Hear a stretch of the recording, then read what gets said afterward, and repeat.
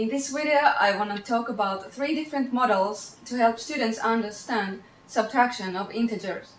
The first model we're going to look at is the familiar number line.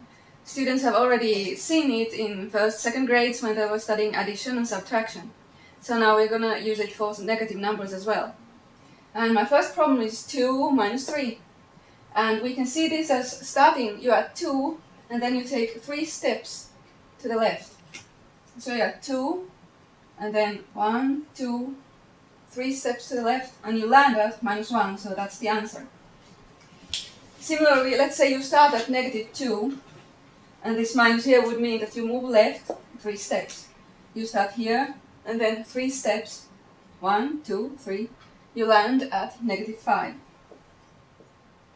Now here is a more interesting situation, or maybe more difficult for the students, because it is the double negative here. Again, you can think of it as you are initially at negative 2, and this minus would mean that you start looking towards left, you're going to move left. But then think that this second negative reverses the situation, so you turn 180 degrees and actually then move right.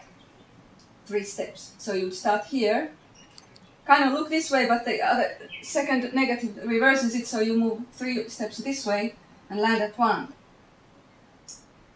Similarly here, you would start at 2.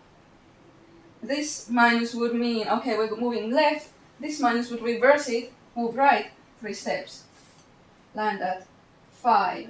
And you might want to notice, note to students that these two minuses, it is as if they make a plus. 2 plus 3 equals 5. Similarly here, minus 2, it is as if minus 2 plus 3 equals 1. The second model we are going to look at is the difference, concept of difference.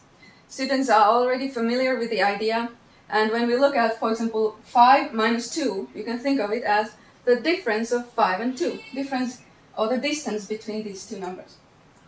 And so that's 3. Now notice that here in the subtraction sentence we need to organize our numbers so that the greater number is first and the smaller number is last, so that we get a positive distance. If we write 2 minus 5 and think of that as the distance between 2 and 5, um, we need to remember to put the negative here because the distance, though the distance is 3, if the numbers are organized this way, then the real answer is negative 3. And let's look at some more examples. How would you think about this as a difference of two numbers? Here, this would be the first number, this would be the second number. And our numbers here are not in the right order, so to speak, because the smaller number is first. So the distance between these two numbers is 4, but it would have to be, be taken negative. Whereas here, we would have 2 and negative 2. And the distance or the difference between them, here the greater number is first, so the answer will be 4, just like the distance is 4. And here, we have negative 1 and then negative 3. So the greater number is first. We can look at the numbers here and the distance is the difference 2. And here we have negative 1 and 3. And negative 1 is of course smaller than this one, so they are in the opposite order. The distance would be 4 units, but we have to take it negative to make it right. The third and last model we're going to look at is that of counters. And here we are viewing subtraction as taking away. So students are surely familiar with that. Uh, in elementary school, they learn subtraction as taking away. And so here you have four positives and take away two would mean just, you know, cross out two. And what is left is, is two. And uh, now we can look at it with negative counters, if initially you have negative 5, and then this minus here means take away, and then this means take away negative 3, so you cross out negative 3, and what's left is negative 2. It's easy to see in this situation. This counter model works really well for this particular example. It doesn't work as easily for these two remaining examples I have here, and this might be a little bit more difficult for students, but I'm going to show it to you anyway. Um, this would be a situation where we start out with one negative counter, and this means take away four positive counters, but there's none, right? There are no positive counters to cross away. So the trick is to add here pairs of positive negatives, which amounts to zero. So I will add here